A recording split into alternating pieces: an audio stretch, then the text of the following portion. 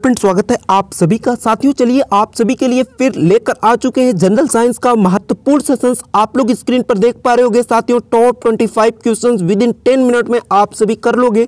साथियों, यदि आप Delhi police constable Delhi police A W O T P CSF SCM या फिर दिल्ली पुलिस एससीएम की तैयारी करते हो तो आप लोग इन सभी क्वेश्चन को आईएसटी परीक्षा पेपर में देखोगे।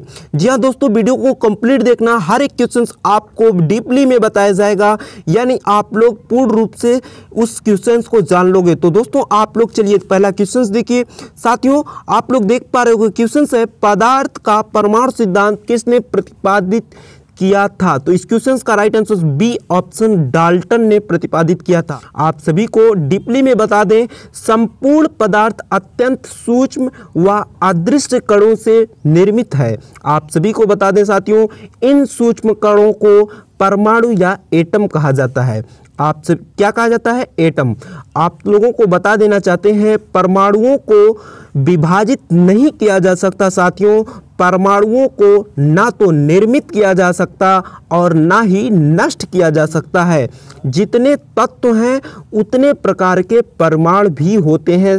साथियों, आप लोग आज से जान लीजिएगा। यानी पदार्थ का परमाणु सिद्धांत किसने प्रतिपादित किया था? तो आपका एक आंसर होना चाहिए। वर्ष 1803 में ब्रिटिश रसायन शास्त्री जॉन डाल्टन ने इसका सिद्धांत प्रतिपादित किया था। बी ऑप्शंस आप सभी का राइट आंसर से। अच्छा लगे वीडियो को लाइक कीजिएगा। साथियों, हम आप सभी के उन साथियों को विशेष तौर से धन्यवाद करना चाहते हैं।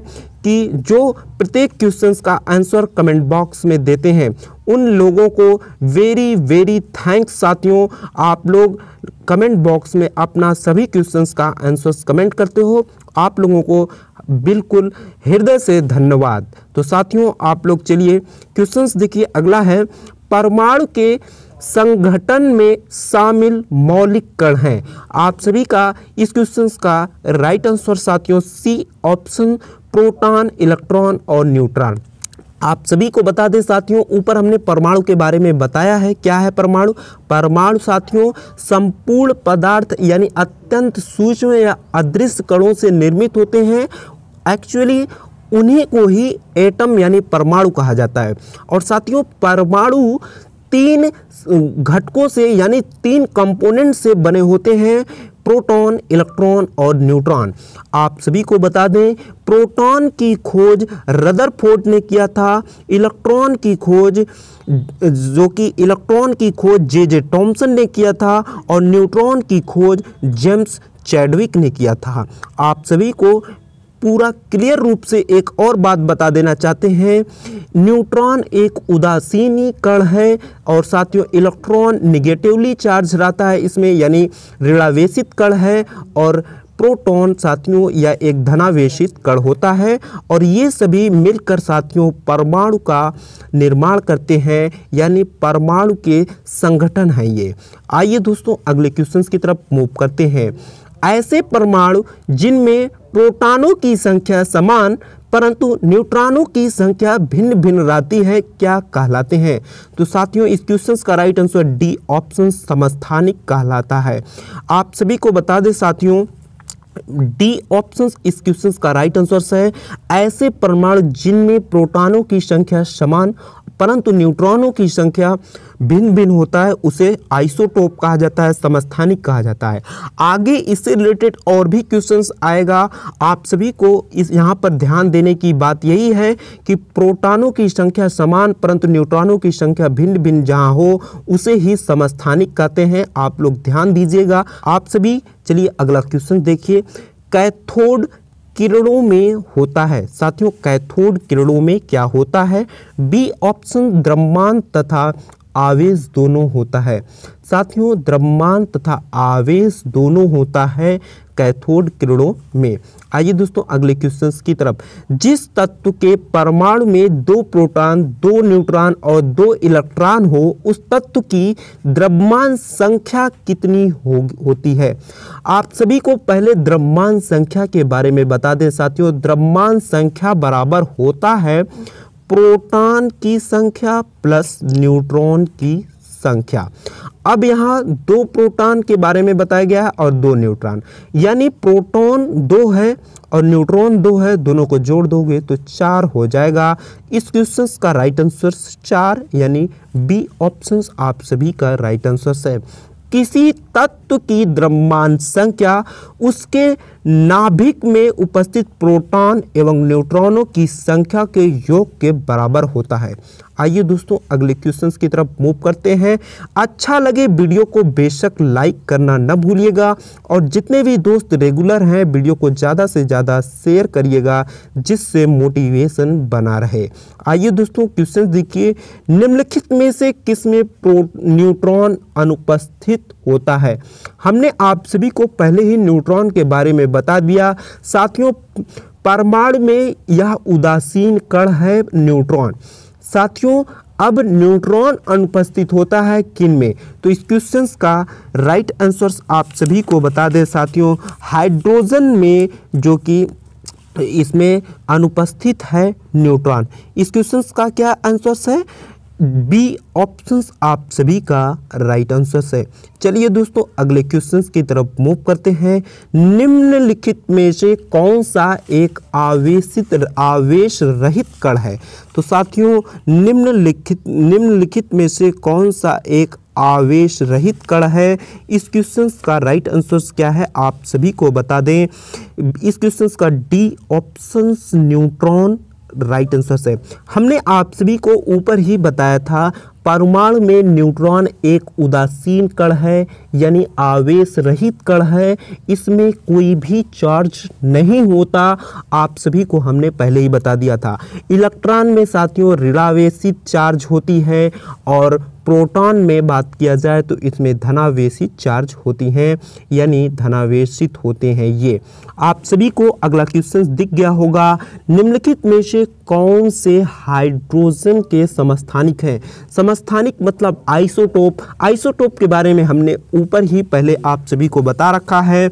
बताया था, वे तत्व जिनमें परमाणु संख्याएँ समान, यानी प्रोटॉनों की संख्या समान, किंतु द्रव्यमान संख्या भिन्न भिन्न होती है, उसे ही समस्थानिक आइसोटोप कहा जाता है। तो इस क्वेश्चन का राइट आंसर डी ऑप्शन एक, तीन, चार, यानी एक, तीन, चार इसमें साथियों हाइड्रोजन के ये समस्थानिक हैं।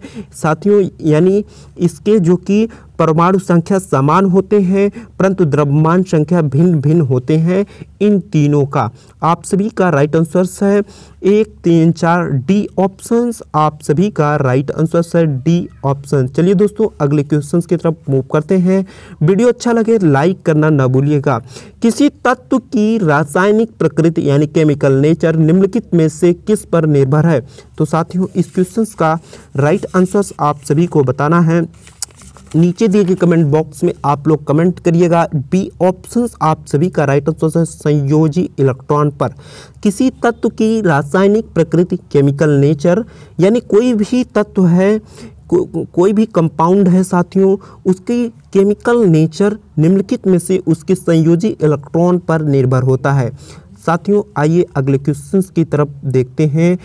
कौन से दो आधारभूत बल दो साथियों न्यूट्रॉनों के बीच आकर्षण बल उपलब्ध करा सकते हैं। तो इस क्वेश्चन का राइट आंसर आप सभी को बताना है। साथियों, इस क्वेश्चन का राइट आंसर सी ऑप्शंस आप सभी का राइट आंसर है गुरुत्वीय और नाभिकीय। यानी सी ऑप्शंस आप सभी का राइट आंसर है। दो, न्यूट्रॉनों के बीच आकर्षण बल साथियों निम्न होते हैं। आप सभी को बता दें, पहला गुरुत्वीय बल और दूसरा नाभिकीय बल। यानी इस क्वेश्चन का सी ऑप्शंस आप सभी का राइट आंसर है। आइए अगले क्वेश्चंस की तरफ़ मूव करते हैं। निम्नलिखित में से किसमें ऋणा ऋणात्मक आवेश होता है। ऋणात्मक आवेश मतलब इलेक्ट्रॉन की आवेश, इलेक्ट्रॉन की चार्ज ज़्यादा होती है। आप सभी को बताना चाहते हैं, साथियों, हमने बताया था इलेक्ट्रॉन में ऋणावेशित चार्ज होती है, प्रोटॉन में धनावेशित, न्यूट्रॉन में उदासीन चार्ज होते हैं। तो साथियों, इस क्वेश्चन का राइट आंसर आप सभी का सी ऑप्शन बीटा किरण। बीटा किरण में इसमें ऋणावेशित चार्ज होते हैं। आइए दोस्तों, अगले क्वेश्चन की तरफ़ मूव करते हैं। एक प्राकृतिक बहुलक है। तो साथियों, एक प्राकृतिक बहुलक क्या है? बहुत ही सिंपल क्वेश्चंस है। हमने आप सभी को पहले ही बताया था एक सेशंस में। इस क्वेश्चंस का राइट आंसर आप सभी को बता दें। D options nylon. D options आप सभी का राइट आंसर है। साथियों, आप लोग अगला क्वेश्चन देखिए। बहुलक जो विशेषता बर्तनों पर ना चिपकने वाली सतह के रूप में प्रयुक्त होता है। आप लोग कोई कोई बर्तन देखे होंगे साथियों, नीचे पेड़ी पर बहुत चमकदार लेप लगी होती है, वह बर्तन को जलने से बचाती है। तो साथियों, वह बर्तन को जलने से बचाती है, आखिर में वह लेप क्या होता है? आपका राइट आंसर साथियों हो जाएगा। इस क्वेश्चन का बी ऑप्शन स्टेफ्लान की लेप लगा होता है। आइए दोस्तों, अगले क्वेश्चन की तरफ़ मूव करते हैं। बुलेट प्रूफ कांच बनाने के लिए कौन सा बहुलक प्रयुक्त होता है? तो इस क्वेश्चन का राइट आंसर आप सभी का डी ऑप्शन पॉलीकार्बोनेट्स का, जो कि बहुलक का प्रयोग होता है। आइए दोस्तों अगले क्वेश्चन की तरफ़। एक प्राकृतिक बहुलक है तो एक प्राकृतिक बहुलक साथियों क्या है? सेलुलोज एक प्राकृतिक बहुलक है। आप सभी को बता दें साथियों, सेलुलोज, लकड़ी, रेशम त्वचा, रबड़, यह एक प्राकृतिक बहुलक है, जबकि बैकेलाइट, पीवीसी, नायलान, एक जो कि कृत्रिम बहुलक है। आप सभी अगला क्वेश्चन देखिए साथियों। पीवीसी किसके बहुलिकीकरण द्वारा प्राप्त किया जाता है? तो इस क्वेश्चन का राइट आंसर साथियों, आप सभी का vinyl chloride vinyl chloride D option आप सभी का राइट आंसर है। इसी के बहुलकीकरण के द्वारा पीवीसी प्राप्त किया जाता है। कौन सा बहुलक बुलेट प्रूफ जैकेट बनाने में उपयोग किया जाता है? तो साथियों, इस क्वेश्चन का राइट आंसर आप सभी को कमेंट बॉक्स में बताना है। इस क्वेश्चन का राइट आंसर आप सभी को बताना है। तो सेशन कंप्लीट हुआ साथियों। आप लोगों, नीचे दिए गए कमेंट बॉक्स में कमेंट्स करना ना भूलिएगा कि आपको सेशंस कैसा लगता है। दोस्तों, फिर मिलेंगे किसी अन्य वीडियो में। तब तक के लिए अपने प्रिपरेशंस को कंटिन्यू करते रहिए और इससे रिलेटेड डाउट हो, नीचे कमेंट बॉक्स में कमेंट करिएगा। चलिए वीडियो को ज़्यादा ज़्यादा शेयर तथा चैनल पे नए हो तो सब्सक्राइब करके बेल आइकन को ज़रूर प्रेस कर लीजिएगा, जिससे आपको हर एक इन्फॉर्मेशन चलिए मिल सके। चलिए friend thank you thank you so much.